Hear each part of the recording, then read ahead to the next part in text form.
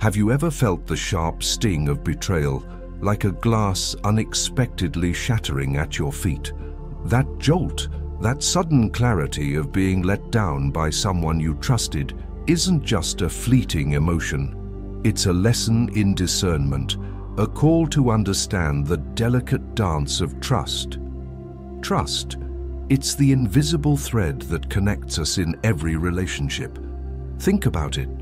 Whether you're chatting with a friend, working on a team, or even just sharing a smile with someone in the grocery store, trust is always in play. Today I'm going to unravel a crucial truth with you. It's about deciphering the intricate patterns of this web, understanding people, and pinpointing who truly deserves your trust and respect. This journey isn't about casting shadows of judgment, it's about arming yourself with wisdom and guarding your well-being in a world where your peace should be sacred. In this video, we'll navigate the murky waters of human interactions, introducing you to nine types of people who might seem trustworthy, but could actually be undermining your journey to greatness. This is not about creating walls or living in suspicion. It's about being smart, being aware, and valuing your peace of mind. Stoicism teaches us the importance of understanding the intentions and actions of others, guiding us to make informed decisions about who we let into our lives. As we walk through these types, inspired by Stoic principles, you'll see it's not just about avoiding the bad, it's about embracing the good and making choices that align with a life of respect and integrity.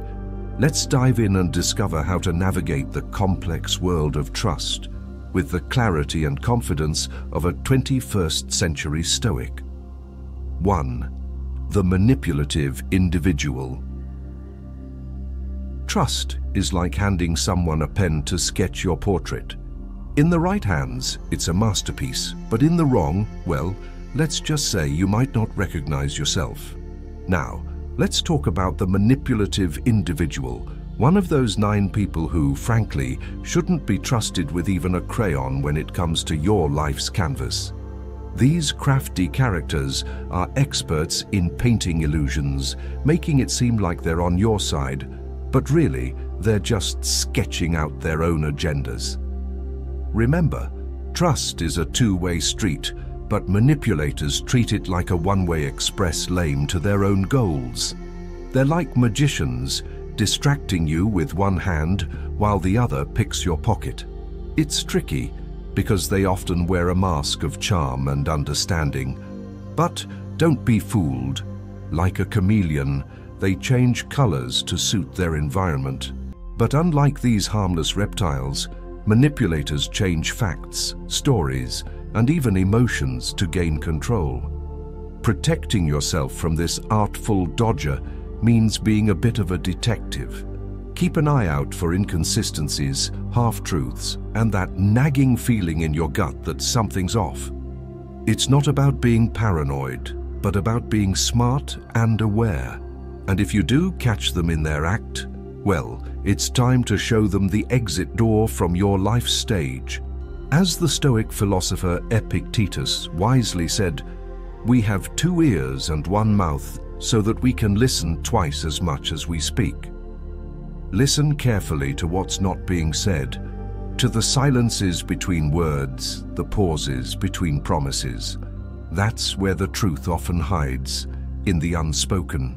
So, Equip yourself with the shield of awareness and the sword of discernment. In the end, your emotional well-being isn't just a priority, it's a necessity. And sometimes walking away from those who misuse your trust is the bravest and wisest thing you can do. Remember, you're the artist of your life. Don't let a manipulator hold the brush. 2. The constant critic. In the marketplace of human connections, trust is a currency more valuable than gold. Consider the constant critic, always armed with a barrage of judgments. This person, much like a glitch in your favorite game, disrupts the harmony around. Trusting them is like entrusting your secrets to a leaking vessel. the critic's words, often harsher than necessary, are a mirror reflecting their own insecurities, not your worth. Their criticisms, seemingly endless, are like rain on a parade, dampening spirits and trust alike. Let's bring a dash of lightheartedness to the mix, shall we? Picture the constant critic as a self-appointed judge in the courtroom of life, where everyone is guilty until proven innocent. They wield their gavel of judgment with the enthusiasm of a chef oversalting a stew. Trusting them? It's like expecting a cat not to pounce on a laser pointer, an exercise in futility. Now, humor aside, the Stoics had it right. As Marcus Aurelius wisely said, the best revenge is to be unlike him who performed the injustice. So, when you encounter the constant critic, remember, their words are not a true measure of your worth. Stepping back from such characters is akin to choosing a serene path over a tumultuous one. It's not about proving them wrong, but about not allowing their noise to disrupt your inner peace. Their criticism, a mere background chatter, should not be the soundtrack of your life's journey. Trust in yourself and choose your confidence wisely, for in the end, it's your journey, not theirs, that defines you. 3. The superficially friendly. Ah, the ever-smiling charmer, gliding through crowds with an ease that defies gravity. With their infectious laughter and an endless reservoir of, how are you, they are the social butterflies of our time. But let's pause and ponder, for not all that glitters is gold. These masters of the social scene, while painting the town red with their camaraderie, might just be artists of illusion, their smiles, as broad as the horizon, could merely be masks hiding a quest for popularity. Like chameleons, they change colors, blending seamlessly into any crowd. But remember, a true friend is one who walks in when the rest of the world walks out, not the one who's merely a passing cloud in your life's sky. Seneca once wisely stated, true friendship is always serene, in this dance of social pleasantries, the superficially friendly are not the ones who waltz in the rhythm of genuine connection. They might remember your birthday, sure, but would they be there when the cake crumbles? Their friendship, akin to a thin veil of mist, may vanish at the first stroke of reality. So, as you navigate through life's myriad relationships, arm yourself with discernment. Don't be swayed by the superficial charm, Seek those who value depth over breadth. For in the grand tapestry of life, it's the stitches of genuine bonds that hold the fabric together, not the fleeting threads of shallow acquaintances. 4. The inattentive listener. Now, let's talk about a character as common in our daily lives as smartphones. This is the person who nods along in a conversation, their eyes glazed over, probably planning their dinner rather than listening to what you're saying. You might as well be talking to a wall, right? But here's the twist. While it's easy to get frustrated with this modern-day statue, remember the words of Seneca, to be everywhere is to be nowhere. In our world of endless notifications and digital distractions, the inattentive listener is a reminder to value the art of listening. Now, imagine you're sharing a story close to your heart, and there they are, scrolling through their phone like it's the latest bestseller. It's like playing tennis against a curtain, no rally, no game. This isn't just about respect, it's about connection. If someone can't spare a moment from their screen to dive into a real conversation with you, why should you invest your words and time? Life's too short to be background noise to someone's screen time. So next time you encounter the inattentive listener, don't just stand there feeling undervalued. Take a cue from the Stoic playbook. Respect your own time and words enough to walk away. After all, as Marcus Aurelius wisely noted, it's not that we have little time, but more that we waste a good deal of it. Don't let the inattentive listener turn your time into something forgettable. 5. The empathy-lacking individual.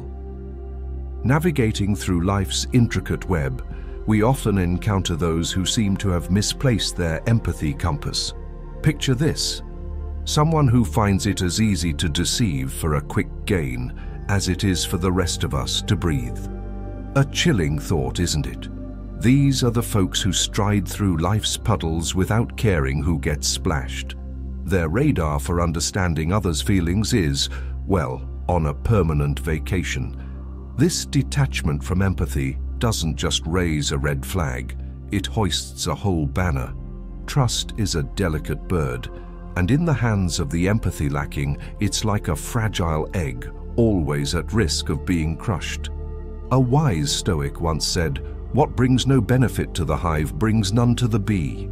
This quote mirrors the essence of our journey with the empathy challenged. They operate solo, buzzing around without considering the hive. Their actions, solely focused on personal gain, often leave a trail of dismay. Trusting such individuals is akin to giving them a map to our vulnerabilities, a risky venture indeed. As modern-day Stoics, our challenge is to recognize these traits and maintain a healthy distance. By doing so, we not only protect ourselves, but also set an example of conscious, considerate living. Remember, it's not just about avoiding harm, it's about fostering a community where empathy and trust are not endangered species. 6. The constant irritator. There's a unique character type you might bump into, the constant irritator. Picture this. Someone who thrives on stirring the pot, never missing a chance to needle or nudge you. They're the masters of the subtle jab, a kind of emotional ninja, throwing tiny darts that might not hurt individually, but over time, they add up. You know the type. Always right, never in doubt forever ready with a comment or a smirk that gets under your skin. It's like they have a PhD in provocation. But here's the kicker, they do it so smoothly. You might even question if it's happening. Don't fall for it. This is their game, their arena. They dance around, weaving doubts and irritation. And guess what? You don't have to play. Marcus Aurelius wisely stated, you have power over your mind, not outside events. Realize this and you will find strength. This is your mantra when dealing with the constant irritator. They might try to ruffle your feathers, but remember, your mind is your territory. Guard it fiercely. You're smarter than their tricks. When they push, don't push back. Step aside. Let their words float by like clouds on a windy day. You're the calm in the storm, the unshakable center. And that, my friend, is real power. The next time they come at you with their sly comments, smile, nod, and move on. You're playing a different game, one of wisdom, peace, and unyielding strength. 7. The Eternal Victim. Beware the trap of the eternal victim, a character in life's grand play who seems forever ensnared in misfortune's grip. This person's story is a relentless stream of woes, with each day bringing a fresh batch of troubles. They wear their suffering like a badge, yet oddly, they're stuck in a cycle of inaction. Complaining becomes their comfort zone, a strange symphony of groans and gripes to anyone within earshot. But here's the twist, their troubles are often self-crafted. Like a captain who ignores the compass, they sail into storms of their own making, yet wonder why the seas are never calm. Marcus Aurelius once observed, Our life is what our thoughts make it. This rings true especially for the eternal victim. Their narrative, a concoction of pessimism and passivity, is a self-fulfilling prophecy. Offering a hand to help might seem noble, but tread carefully engage too deeply, and their whirlpool of problems might drag you down. It's a delicate dance, balancing empathy with self-preservation. So, when you encounter this archetype, remember to keep your feet firmly on the ground. Your journey is yours to steer. And while the seas of life are unpredictable, your ship needn't follow another's misguided course. 8. The Two-Faced Individual Now let's move on to the eighth character in our journey, the chameleon in human guise, the master of masks, the two-faced individual. They'll dazzle you with their sparkling smile and honeyed words, only to turn around and smear your name in mud the moment your back is turned. You'll find them weaving a web of rumors, not just about you, but about anyone within earshot.